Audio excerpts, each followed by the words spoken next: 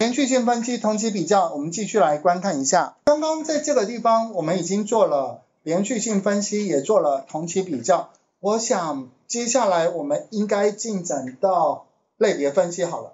类别，呃，例如说我这边我是不是有非常多的那个子类别？因为如果我讲客户，客户的分类，客户是不是有客户的名称？客户名称，我们可以针对客户的对于公司的销售以及利润来去看，到底这个客户对我们公司是好的客户还是不好的客户，对不对？好，那我们也可以就子类别来去做分析。我们先看客户好了，针对客户来做分析的话，客户名称，然后接下来画散布图好了，散布图，客户的什么？当我点选那个散布图的时候，刚刚勾选的客户名称就会跑到详细资料。因为散布图它 x 轴是值，y 轴也是值，就是一定要两个数值资料，然后搭配一个文字栏位，所以我勾选销售额，它就会放到 x 轴，然后再勾选利润，它是不是就会变到 y 轴？你知道我们这里有多少客户吗？千万不用自己算，这边点一下，点一下，这边有一个一二三，一二三这个工具有看到啊？一二三这个工具，然后勾勾什么呢？勾客户名称，然后他就把这个栏位呢改成什么？计算。这边是不是有两种计算？一个是计算次数，这个计算次数的话，就是会算出。总共多少笔记录？可是相异，相异就是不管这个客户出现几次，它只出只会设为一次，这叫相异的计数，可以吗？好，所以我现在是不是应该点这个相异？总共七百七十一个客户，这我想应该都没有问题。可是现在你要你要画出一张图是要可以分析的啊，对不对？是要可以让我们一看就知道说这个这个资料表到底是好还是不好，所以我们现在教你如何如何去分析，如何做进一步的这张表的分析。请问这张图会不会画？这张图其实画图都很简单，空白地方点一下，然后点选散布图，然后勾勾客户名称、销售额以及利润就画完了。画完之后。我想要在这张图上面增加分析，所以这边第三个工具，其实最主要是要教你第三个工具分析。分析什么呢？我们是不是有平均线？我把那个销售额的平均求出来，然后利润，利润我们可不可以用常常数线？因为零以上代表有利润。零以下是不是代表没利润？对不对？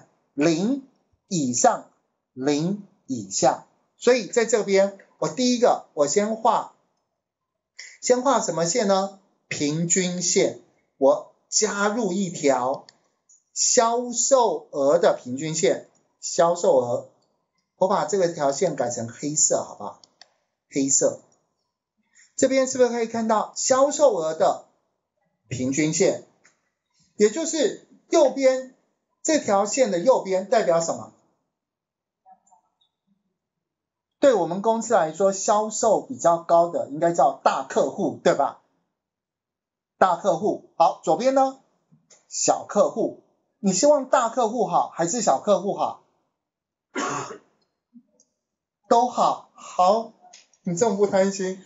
当然是越大的客户越好啊，对不对？他一次跟我们买不是买一个两个，他可能一次买，例如说买个二十个、三十个。好，那我们接下来利润，利润这边我用的是 Y 轴的常数线，加值是零，然后一样这条黑色线，可以吗？你随便看你要用什么，这边有那么多种。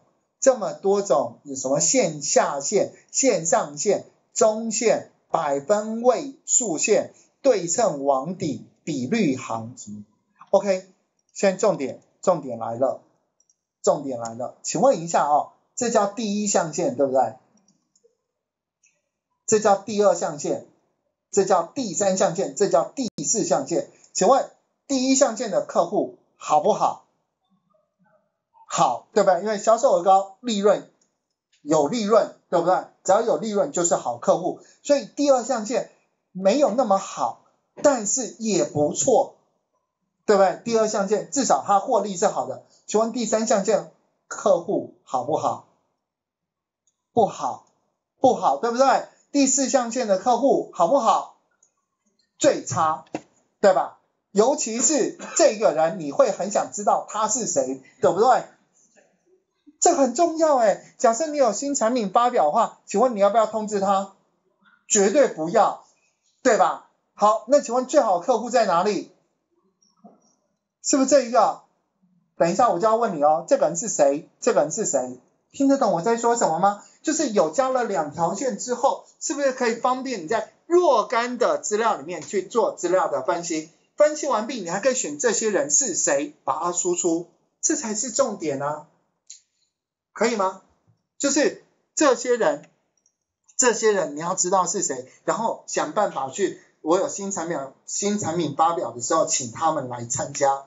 那这些这些人可能是我有一些什么那个呃促销的活动，哎，我也可以告诉他们。